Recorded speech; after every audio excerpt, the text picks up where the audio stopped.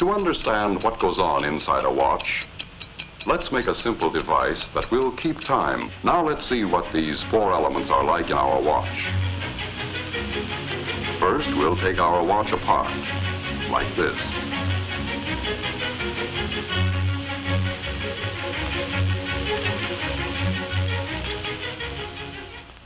We'll begin with this part, the mainspring and barrel assembly. And so we can see everything that goes on inside, let's use giant parts to make a watch model.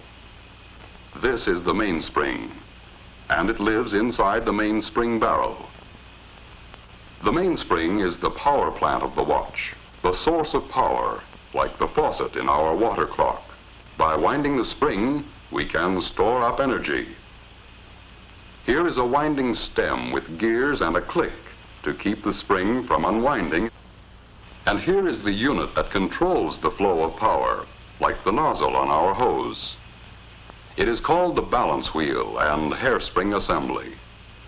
It consists of the balance wheel, hairspring, balance staff or axle.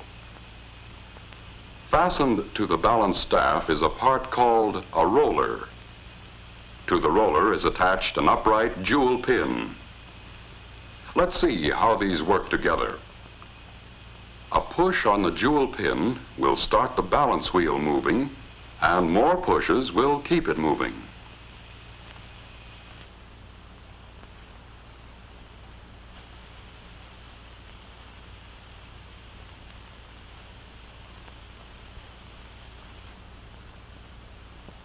To do this job of pushing, we need this odd anchor-shaped lever called a pallet. It can be mounted so that when we move the pallet back and forth, we can apply a series of impulses to the jewel pin to keep the balance wheel in motion.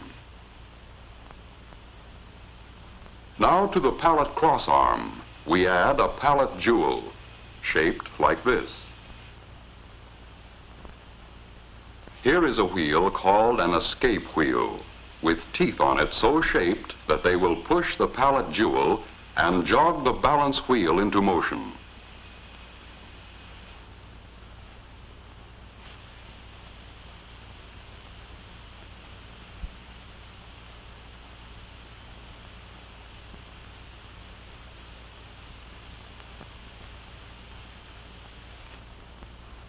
Now we'll use the energy stored up in our mainspring to drive the escape wheel. As the mainspring uncoils, it causes the barrel to rotate with it. That didn't last long, did it? Let's try it again. Once things get started, there's nothing to stop them. What we need now is a way of holding the power in check, releasing it a little at a time just when it's needed. Another pallet jewel at the other end of the pallet crossarm will do the trick. Just as the first pallet jewel gets a push from the escape wheel, the second pallet jewel locks against another tooth of the escape wheel to hold the power of the mainspring in check. But the balance wheel keeps swinging, and the jewel pin moves the fork end of the pallet until the escape wheel is again unlocked. But when we connect the mainspring directly to the escape wheel, the power is soon exhausted. In an actual watch, it would last only a few seconds. What we need is a way to stretch the power so it will last for more than a day. In our water clock, we used a hose to transmit power from the faucet to the nozzle. We also need a way to transmit power here. So let's add a system of gears and wheels. We'll stretch them out in a line instead of in their usual closely confined location in a watch. Look at the gears a moment and see what they do. First, a small partial turning of the mainspring barrel drives the center wheel a complete revolution.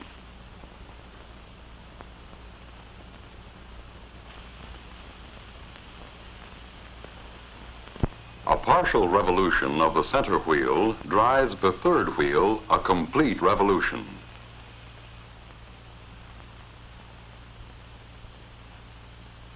And this in turn drives the fourth wheel much further.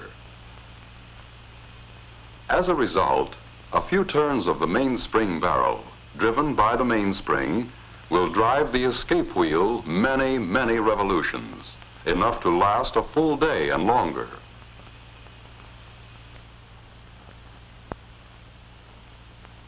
What we have now is a complete model watch train. Through the gears, the mainspring drives the escape wheel. The escape wheel teeth push first on one pallet jewel and then the other. The pallet fork nudges the jewel pin on the balance wheel to keep it moving. The swinging balance wheel on its return trip moves the pallet fork. This unlocks the escape wheel to release a little more energy from the mainspring.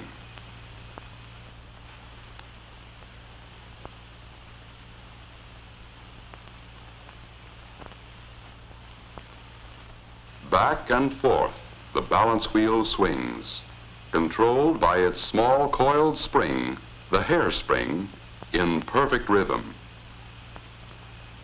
Each swing unlocks the escape wheel so it can give an extra push to a pallet jewel, and this is passed on to the balance wheel assembly to keep the watch ticking far more steadily than any beating heart. All we have to do now to measure time is count the ticks.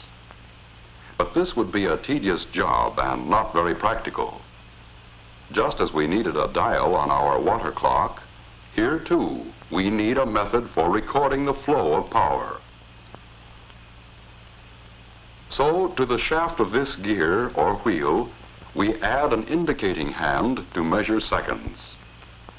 As the gear train of a watch moves far enough to make five ticks of the escapement, the second hand moves one graduation on its dial.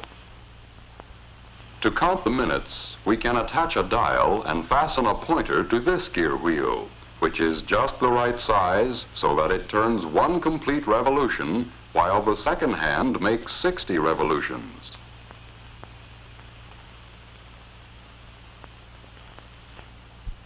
And to count the hours, we can have another pointer geared just so, to move one complete revolution every 12 hours. The second hand makes a complete revolution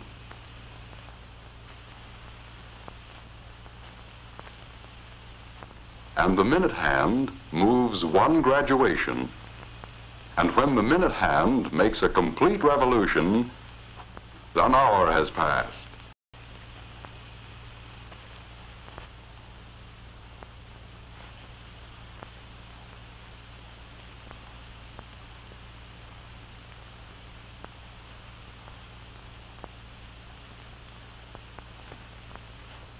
Now we can tell what time it is. But a gear train all strung out like this is a long way from an actual watch. Let's let our model do a bit of rearranging all by itself.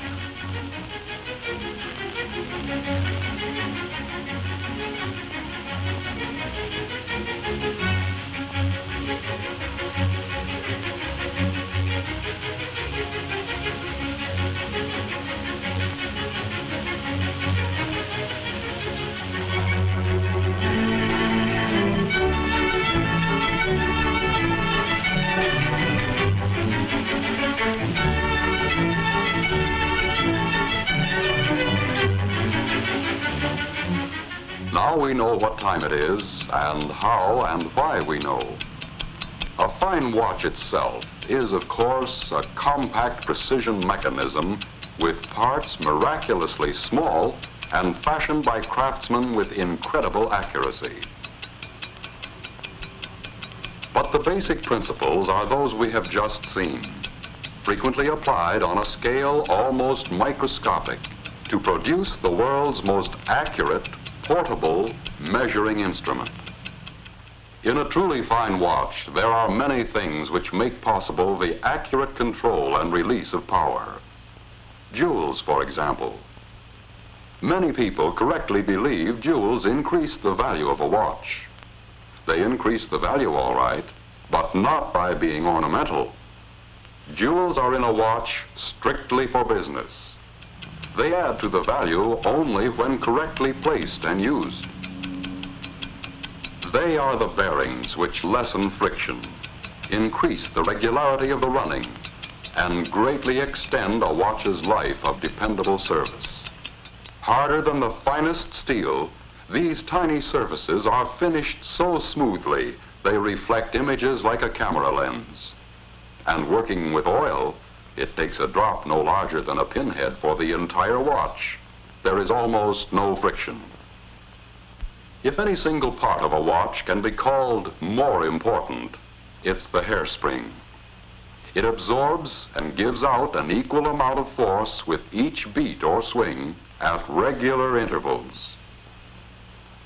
In a fine watch, the hairspring has uniform thickness throughout its whole length, is polished to a mirror-like finish, and made of metal relatively unaffected by magnetism or changes in temperature.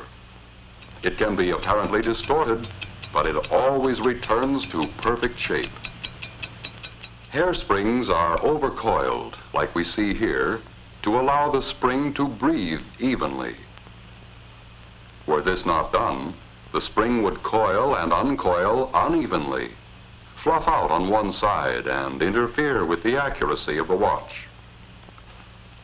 Because a watch is required to run in any position, to be accurate, the balance wheel must be perfectly balanced in any position. This is done by poising. The wheel is poised when there is no effect of the pull of gravity reflected in its action on the knife-like edges of the instrument which checks it. With perfect poising, and with the hairspring centered on the balance wheel, it runs accurately in any position all the time. And it's the same with all the parts. The tiny screws, scarcely larger than a speck of dust, the exceedingly small shafts, the precisely made gears and pinions, the sturdy nickel-silver plates and bridges. Every part is made with utmost precision, precision which approaches perfection.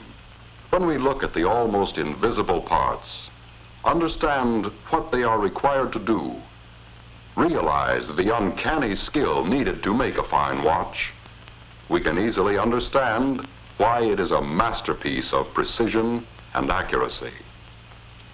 Here is a truly wonderful mechanism.